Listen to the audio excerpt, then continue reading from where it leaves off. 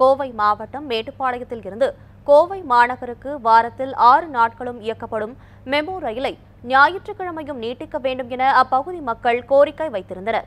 இதுகுறித்து ரயில்வே அமைச்சகத்திற்கு மத்திய இணையமைச்சர் எல் முருகன் கடிதம் எழுதியிருந்த நிலையில் மத்திய ரயில்வே அமைச்சர் அஸ்வினி வைஷ்ணவ் அனுமதி அளித்தார். இதனைத் தொடர்ந்து இந்த ரயில் இன்று முதல் வாரந்தோறும் ஞாயிறன்றும் இயக்கப்பட உள்ளது இதற்கான விழாவில் பங்கேற்ற மத்திய இணையமைச்சர் எல் முருகன் மெமு ரயில் சேவையை கொடியசைத்து தொடங்கி வைத்தார்.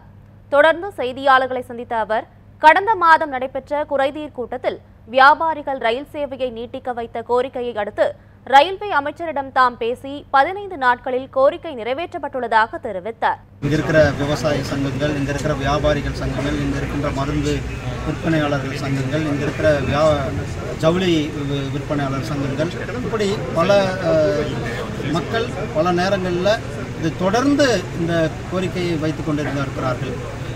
இந்த நீண்ட நாள் கோரிக்கையானது நான் கடந்த மாதம் இங்கே சுற்றுப்பயணம் வந்திருக்கிறப்போ இந்த தொழில்துறையினர் அதே போல் இந்த விவசாய சங்கத்தினர் அவர்களெல்லாம் சந்தித்து இந்த ரயிலை இயக்க வேண்டும் என்பது அவர்கள் எங்களுக்கு ரயிலை இயக்குவதன் மூலம் நாற்பது நிமிடங்களில் நாங்கள் கோயம்புத்தூர் சென்று சேர முடியும்.